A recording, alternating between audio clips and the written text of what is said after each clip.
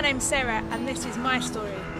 My parents took me to the Salvation Army as a child. I grew up within the Salvation Army. I became a junior soldier and then senior soldier. Things changed in my life dramatically um, when I was a teenager, which caused me to go and explore lots of avenues that probably weren't very good for me.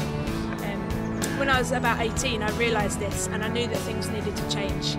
So I signed up to the Salvation Army Gap Year programme. I did Essential a love and that took me to Wetherby. It took me out of my situation and my circumstances, and I realised who God really was and who He was for me as well. While I was at Wetherby, I was really encouraged to find creative and exciting ways to reach people that weren't in our church communities, to take the gospel outside. Um, for me, sport was a really big part of my life, and I realised that that was a great way of being able to reach those people um, that weren't in our churches.